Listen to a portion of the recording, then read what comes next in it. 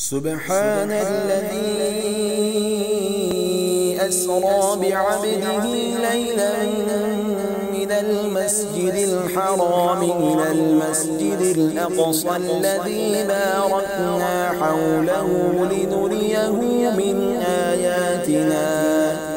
إنه هو السميع البصير.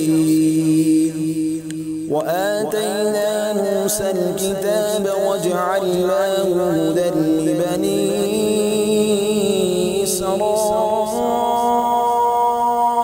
ألا تتخذوا من دوني وكيلا. ذرية من حملنا مع نوح. إنه كان عبدا شكورا.